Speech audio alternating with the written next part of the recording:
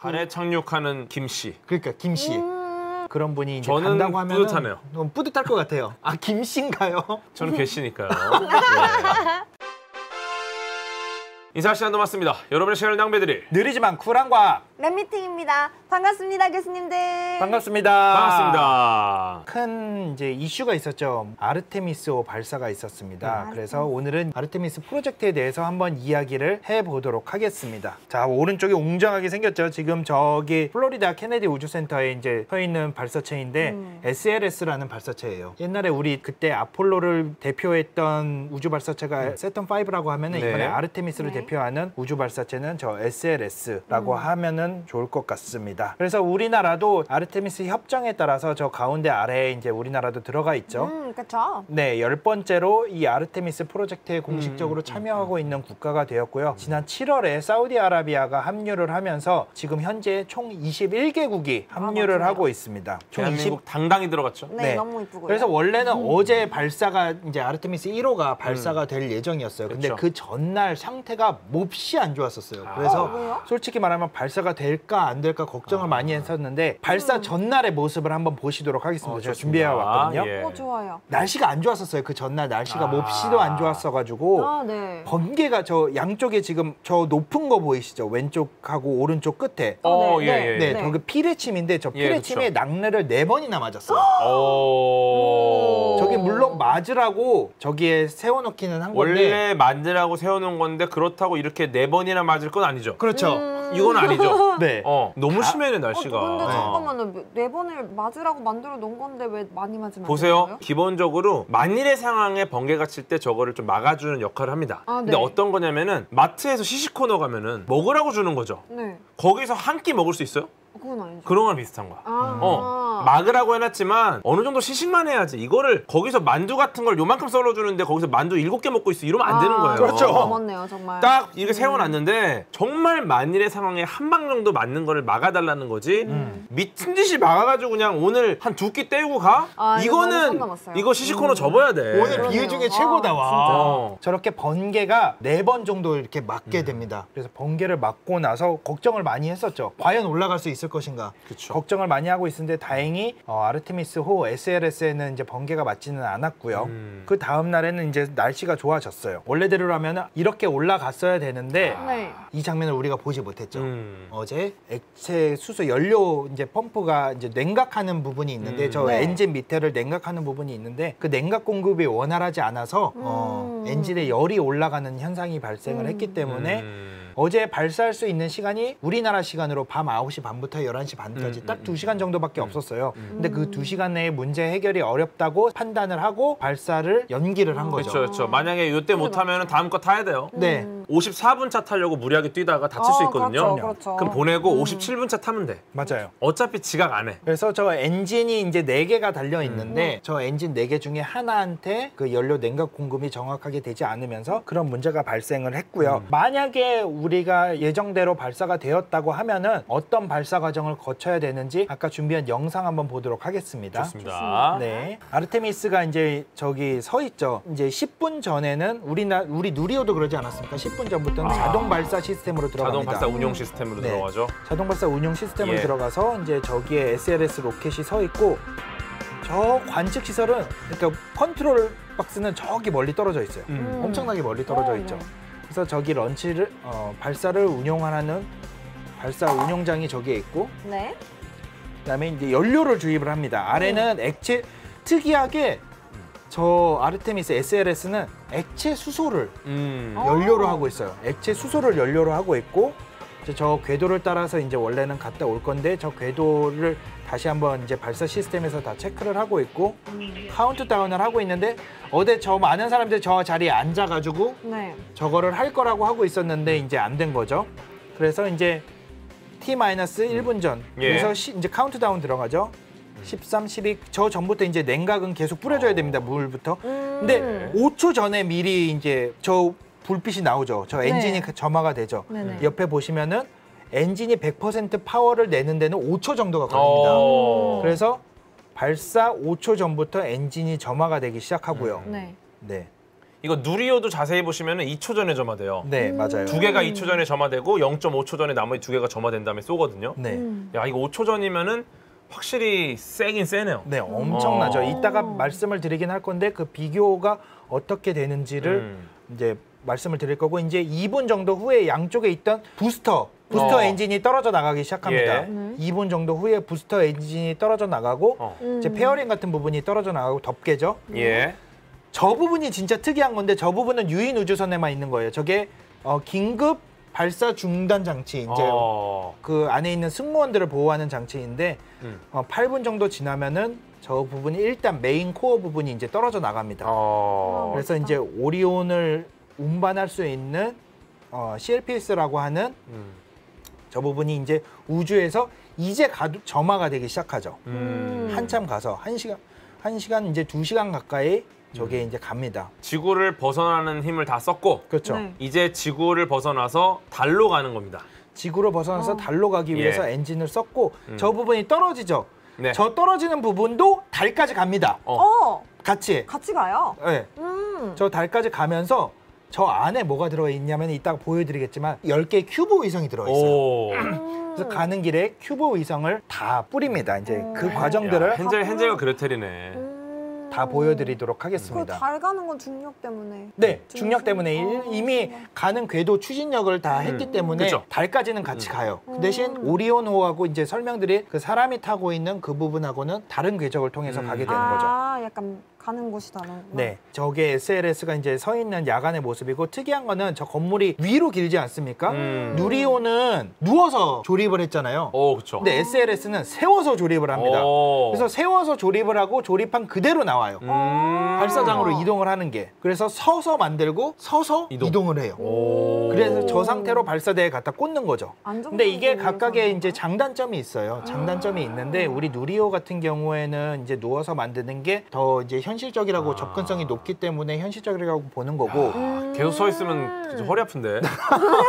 우리 아폴로 하면은 딱 저 로켓 인상이 깊지 않습니까? 아, Saturn 있죠. 5. 예, 집에 있죠. 저도 집에 있어요. 네. 네, 음. 하얀색으로 딱 저렇게 완성이 된 로켓이고 이제 아르테미스는 왼쪽에 이제 보조 로켓을 갖고 있는 아, SLS를 저것도 쓰는데 지상 최대의 로켓이 여태까지는 뭐가 나왔어도 음. Falcon 네. 9, 뭐 Falcon Heavy가 나왔어도 여태까지 무조건 Saturn 5였어요. 음. 무조건 Saturn 5였는데 드디어 아르테미스가 그거를 능가하기 시작했다. 어. 물론 높이는 조금은 낮아요. 네. 거대한 음. 크기 자체로는 이제 아직 Saturn 5가 더 크기는 한데 Saturn 5에 사용됐던 엔진은 F1 음. 엔진이라고 하고 네. 이제 조금 이따 말씀드리겠지만 SLS에 사용되는 엔진은 RS25라고 네. 하는 엔진인데 음. 그 엔진에 대해서는 조금 이따 자세히 말씀드릴게요. 저 때도 세워서 만들었어요. 세턴 음. 5가 같은 건물이에요. 저 때는 이제 뭐 나사 로고라든지 어. 이런 게 다 돼 있지는 않지만 예. 똑같은 발사장에서 똑같이 건설이 돼서 이제 어. 나왔던 모습이고 똑같은 건물에서 이제 그 음. 장소에서 그대로 외벽을 조금 예쁘게 칠했네요. 네 외벽을 조금 더 이쁘게 칠하고 미국 국기를 넣고 아. 음. 그 자리에서 SLS가 이제 조립이 돼서 좋습니다. 나온 거죠. 아, 예. 그래서 딱 이렇게 서 있습니다.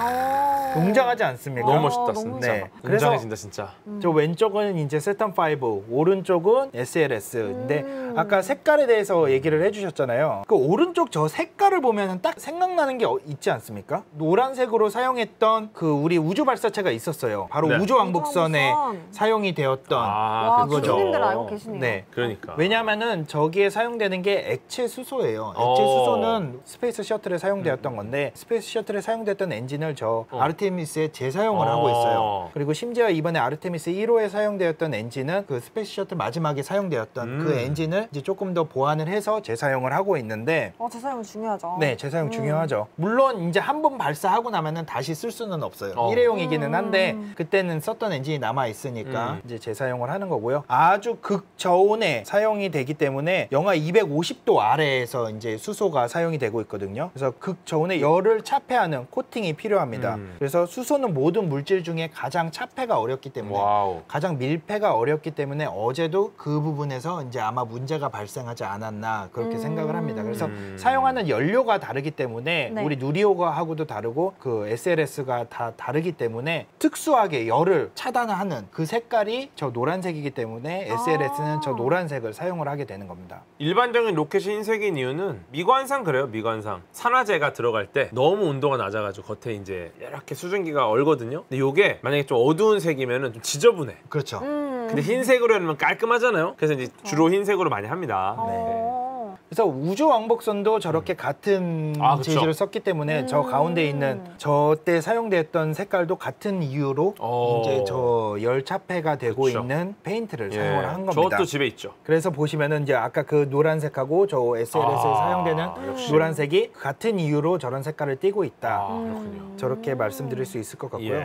이것도 원래 나사에 있는 자료를 이제 영어로 된 자료였는데 제가 조금 보시기 편하게 바꿔봤는데 좋습니다 좋습니다. 자유의 예. 여신상이 93m 정도 돼요. 예. 네. 그리고 세턴 5가 110m 정도 되는데 SLS는 사실 세턴 5보다 작아요. 높이를 비교하자면 아직까지는 세턴 5가 더 커요. 음. 현존에 지금 사용되려고 하는 어, 우주 발사체 중에는 그렇지만 추진력을 봤을 때는 세턴 5가 약 3,400톤의 추진력을 가지고 있어요. 어. 음. 근데 우주 왕복선이 세턴 5보다 추진력이 더 높았어요. 음. 더 이제 액체 수소를 쓰고 그렇기 때문에 추진력 자체는 더 높았고 어, SLS도 4,000톤의 추진력을 가지고 있어요. 야 엄청나다 진짜 누리호가 참고로 말씀드리면 300톤이었어요. 예 75톤급 4개죠 네. 300톤 네. 그럼에도 야. 불구하고 SLS는 4,000톤의 와, 와. 추진력을 가지고 있죠. 우리 이번에 다누리호를 달에 보냈던 팔콘 9이 한 700톤 정도, 그쵸. 700톤 정도의 와. 추진력을 가지고 있죠. 근데 이번에 대박이다, SLS는 4,000톤의 4,000톤 와 4천 톤이면은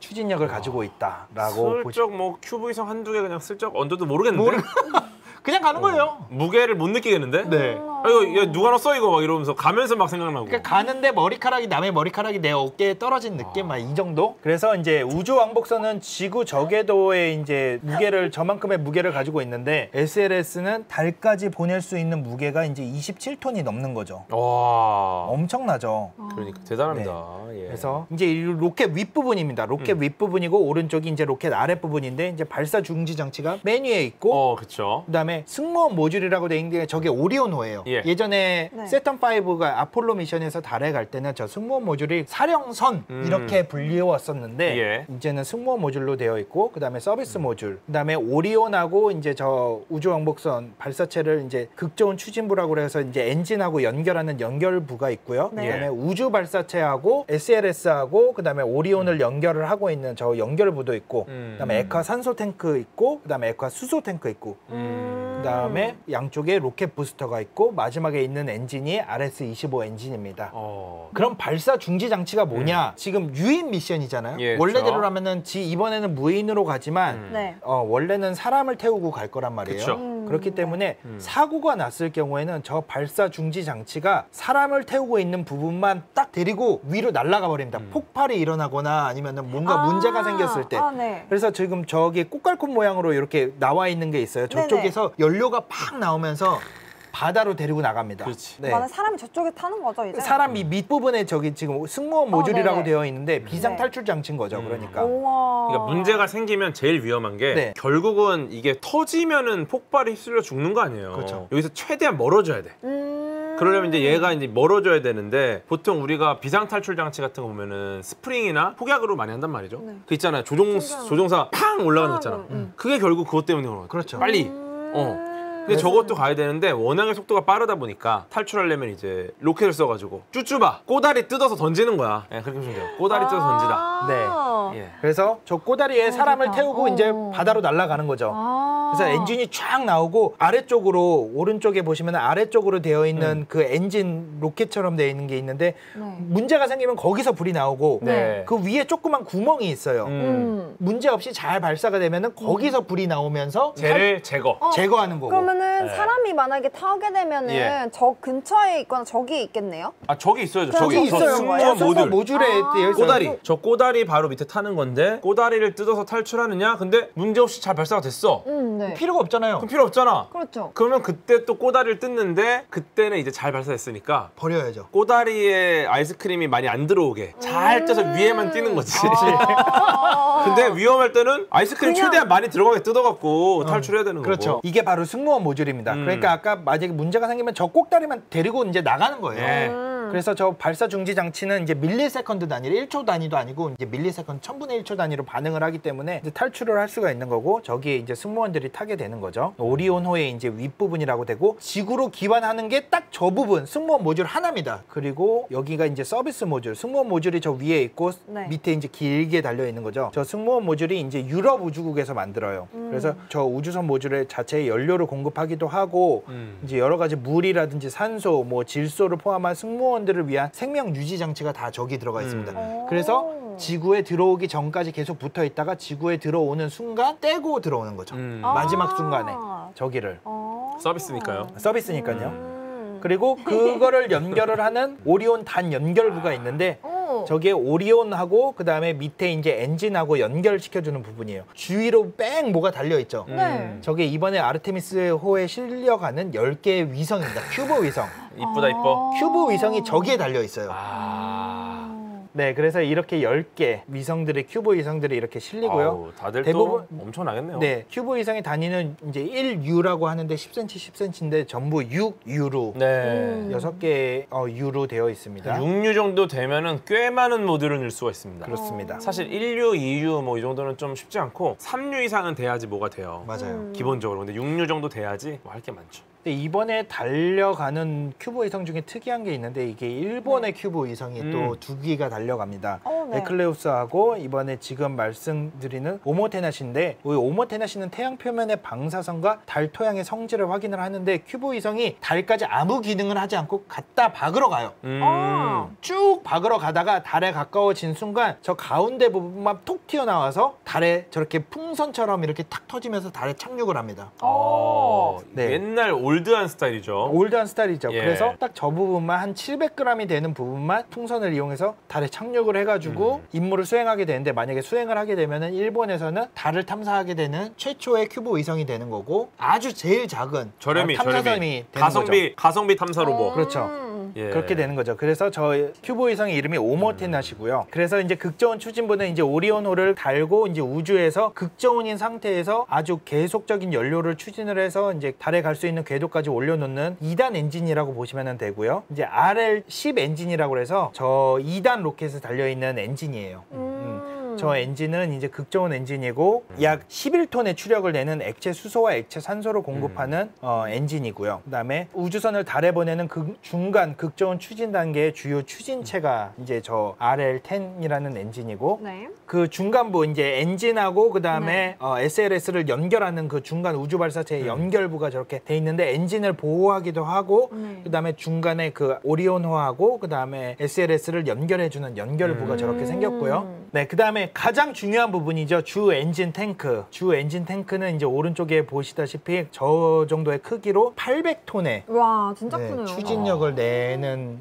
것으로 알려져 있고요. 엔진 하나당 200톤의 추력을 내는 거고 음. 연료는 액체 수소, 그다음에 산화제는 액체 산소를 사용을 하게 됩니다. 음. core stage에 들어가고 있는 아까 그 부분은 core stage라고 그러는데 그 안에 들어가는 이제 액체 산소를 담는 통이에요. 아까 그 음. 보여드렸던 그 메인 주황색 통 있잖아요. 네. 예. 그 안에 산화제를 넣는 액체 산소 통인데 저 안에 액체 산소가 89만 리터가 들어간다고. 음. 89만 리터. 리터. 저게 이제 메인 중간 부분 오렌지색의 이제 대부분을 담당을 하고 있는 연료로 사용이 되는 액화수소 탱크입니다. 어. 액화수소 탱크가 저만큼 됩니다. 그래서 우와, 액체. 수소 탱크에는 섭씨로 영하 252도로 냉각된 액체 수소가 244만 리터가 들어간다. 와. 244만 리터. 대단하네요. 근데 액체 수소는 밀폐하기가 정말 힘들어요. 아 근데 이거를 한 순간에 다 쓰는 거죠? 8분 정도에 쓰죠. 와 8분 8분 만에. 만에. 쓸 때 써야죠. 8분 만에 244만 리터를 씁니다. 얼마나 가성비가 떨어지는지 알 수가 있겠죠. 어. 야. 네. 그래서 영하 이- 마이너스 252도, 250도 이상으로 내려야 되기 때문에 음. 그런 오렌지색 차폐 열을 네. 조금이라도 더 안 닿게 하는 그런 페인트를 사용을 하는 거고요. 아까 우리 총 SLS 추진력이 4,000톤 정도 된다고 그랬잖아요. 예. 네. 근데 저 가운데 부분은 액체 연료인데 왼쪽 고체 부스터는 고체 로켓이에요. 어, 로켓 고체 부스터는 부스터. 고체 연료를 사용을 합니다. 네. 그래서 각각이 1,600톤 정도를 내요. 그래서 저 로켓 부스터 두 개만으로 3,200톤의 3,200. 이제 추진력을 내고 네. 가운데에 위에 있는 main core 그게 네. 800톤 정도. 그래서 음. 총 합쳐서 4,000톤의 추진력을 발생을 시킬 수가 있는 거죠. 그래서 고체 로켓 부스터는 저렇게 양쪽에 붙어 있는 거죠. 저, 저거는 그냥 폭탄이라고 보시면 돼요. 근데 안에 고체 연료가 들어 있고 뭔가 주입하지는 음. 않는 거니까. 연료 타이밍이 다 다르죠? 저거는 발사하는 순간에 다 한꺼번에 쓰죠. 어... 고체도 태우고 액체 연료도 음. 태우고 그리고 마지막에 이제 사용되는 엔진이 저네 개의 엔진으로 되어 있습니다. 네. RS25 엔진이라고 해서 각각의 엔진이 갖고 있는 추진력이 약 200톤 정도 돼요. 음. 우리나라 누- 사용되는 누리호 엔진이 하나당 75톤이니까 하나가 우리 누리호 엔진 3개 정도의 추진력을 낸다고 아. 보시면 돼요. 음. 그래서 저 RS25 로켓은 우주 왕복선에 사용되었던 음. 로켓도 어, 사용이 되고 있습니다. 이번에 발사되는 건 원래 유인 발사선인데 마네킹 3개가 이렇게 들어갑니다. 선장 마네킹이 들어가고 네. 아까 아르테미스 미션은 여성이 간다고 그랬잖아요. 그래서 오른쪽에 보면 여성의 신체 구조를 가진 음. 마네킹도 저렇게 실려 있고 음. 또 유색 인종을 나타내는 어, 마네킹도 저렇게 실려 있습니다. 그래서 정말 사람의 뼈와 그다음에 사람의 장기와 비슷하게 모든 거를 만들고 그다음에 피부 조직까지 사람의 조직까지 비슷하게 만들었어요. 어. 그렇기 음. 때문에 우주 방사능에서 노출이 됐을 때 장기가 받는 영향이라든지 여러 가지 센서를 부착을 해서 음. 우주 방사선으로 받는 영향이라든지 이런 것들을 다 하게 됩니다. 그래서 저 마네킹 세 개만 가는 게 아닙니다. 스누피 피규어도 갑니다. 아. 아 이게 잘해 나사가. 아, 이런 걸. 잘하죠. 나사가 이걸 잘해. 네. 그것만 가느냐? 아니죠. 궤도님 이름도 이번에 아르테미스와 함께 갑니다. 저도 어. 갑니다. 지난 3월에 저희가 한번 네. 말씀을 드렸어요. 이렇게 네. 아르테미스가 이번에 발사가 되니 음. 우리가 직접 가지는 못하지만 이름은 예. 같이 갈 수 있도록 이렇게 이 boarding pass를 판다, 모집을 한다. 그래서 많은 분들이 적어 내신 분들이 계실 겁니다. 여기 교수님들 중에서도 저 boarding pass를 가지고 계신 분들이 많이 있을 거예요. 조금 아쉬운 게 디테일이 numbering이 안 돼요. 음, 음. numbering이 이름을. 넣으면은 모든 사람의 이름이 들어가나 이 numbering이 안 바뀌어. 요 오. 요게 사실 numbering이 바뀌어줘야 진짜 아. NFT거든요. 그렇죠. 음. 근데 numbering이 다 똑같으니까 음. 내 이름은 들어가나 항성님 거랑 똑같이 numbering이 똑같아. numbering이 음. 똑같구나. 아 요거는 NFT 개념이 없는 거예요. 적어도 나는 몇 번이다 이런 게 그러니까. 있어야지. 아, 그러니까 내가 너보다 앞좌석에 타는지 그렇지. 뒷좌석에 타는지 개념을 넣어줘야 돼요. 그렇죠. 예, 아쉽습니다. 그래서 아르테미스가 가는 궤도가 이렇게 됩니다. 초록색이 지구에서부터 달까지 가는 궤도. 그다음에 회색으로 오른쪽에 달 주위에서 회색으로 표현이 된게 이제 달에 머무는 궤도. 음. 그리고 달에서 지구로 돌아올 때 전환할 때 사용되는 궤도가 회색 궤도고요. 음. 파란색 궤도가 달에서 지구로 돌아오는 궤도입니다. 1, 2, 3, 4 이제 달에서 출발을 해가지고 5, 6번으로 가면은 음. 6번에서 이제 I, ICPS라고 해가지고 ICPS가 이제 저거를 타고 가면서 기차 모양처럼 A, B 에 보이는 게 있죠. 저 때 이제 사출을 하는 거예요. 큐브 어. 위성들을 아. 쭈르르륵 내고 음. B에서 그쵸, 왔을. 때 또 쭈르륵 내고 오른쪽에 보면은 달 거의 다 왔을 때 C까지 오잖아요. 음. 네. C에서도 이제 쭈르륵 내고 보면은 저 ICPS도 달까지 따라갑니다. 어. 음. 달까지 따라가고 네. 이제 한 바퀴 돌고 아예 다른 데로 가버리고 음. 오리온호는 돌아서 오다가 15번에 보면은 서비스 모듈하고 마지막에 꼭대기에 사람 어, 네. 타고 있는 부분 음. 떨어지죠. 그래서 저 부분만 딱 돌아오게 되는 것이죠. 네, 지구를 음. 귀환하는. 네. 그래서 이게 오리온 호의 모습이고 저 앞부분이 이제 사람이 타고 있는 부분. 음. 그다음에 뒤쪽이 서비스 모듈. 어. 이제 지구로 들어오기 직전까지 붙어 있습니다. 음. 왜냐하면 태양열 에너지 네. 공급도 하고 다 모든 거를 책임지고 있으니까요. 음. 그렇게 돼서 지구로 돌아오는 순간 저 앞부분만 오. 저렇게 떨어지면서 낙하산을 펴면서 음. 해군이 감시하고 있는 그 지역에 저렇게 딱 부위를 음. 만들고 떨어지게 되는 거죠. 그러면은 어, 저때. 이제 타고 있던 우주인들이 이렇게 문 열면서 나오면서 박수 받는 와, 거죠. 멋지다. 네. 약간 영화 저거 같아. 쉽지 않아요. 근데 굉장히 정말 어려워요. 어려운 음. 거예요. 바다에 떨어지는 거잖아요. 네. 네. 군함들 떠 있다가 네. 위치 보고서 따라가야 되는 건데 음. 어 되게 어렵습니다. 저거. 네. 돈 많이 들어요. 그리고 그러니까요. 그래서 네. 이번에 발사되는 게 아르테미스 1호고요. 아르테미스 1호가 이제 맨, 맨 왼쪽에 두 개 있는 건데 앞에 뾰족한 게 달려 있으면 사람이 네. 타고 가는 거예요. 왜냐? 저게 음. 이제 발사 준비 음, 중지 장치가 이제 그쵸. 저기에 있는 네네. 거죠. 맨 왼쪽에 이번에 사용될 SLS 두 번째로 가면은 이제 111m 약간 새턴 5의 크기를 음. 지켜주는 약간 존중하는 그런 느낌이라고나 할까 넘지 않아요. 넘으면은 넘을 수 있을 것 같은데 음. 넘지 음. 않고 딱 새턴 5의 크기만큼 딱 111m 음. 해서 이제 실제로 우주인이 타고 가서 달만 한 바퀴 돌고 음. 돌아옵니다. 그런 임무를 수행을 하게 될 거고요. 네. 세 번째로 이제 저게 SLS Block 2라고 되어 있는 게 왼쪽에 네. 이제 사람을 타고 가서 달에 직접 착륙을 할 때 사용될 어, 발사체고 SLS 발사체고요. 오른쪽에 있는 몽똑하게 되어 있는 거는 화물이에요. 음. 이제 네. 우리 게이트웨이도 달의 우주 정거장도 지을 거고 추후에 달에 기지를 지으려면은 그쵸. 저기다가 실어가지고 이제 날- 음. 달까지 날려 보내는 거죠. 그래서 이제 이게 아르테미스에 사용될 SLS들의 음. 이제 앞으로의 모습들이고요. 이 아르테미스 계획에는 달의 우주 정거장을 짓는 것도 계획이 되어 있습니다. 음. 그래서 달의 우주 정거장 루나 게이트웨이를 지을 게 이제 아르테미스 계획에 포함이 되어 있고요. 음. 저 우주 정거장을 지을 모듈들은 어, 아까 보셨던 SLS의 화물들을 통해서 만들어질 예정입니다. 그래서 저 루나 게이트웨이가 이제 건설이 되고 나면은 사람들이 이제 지속적으로 달에 착륙을 하고 달의 탐사를 계속할 수 있지 않을까 우와. 그렇게 생각을 합니다. 그래서 이번에 아르테미스 미션에는 네. 누가 가느냐 이렇게 18명의 우주인이 이미 선발이 되었습니다. 오.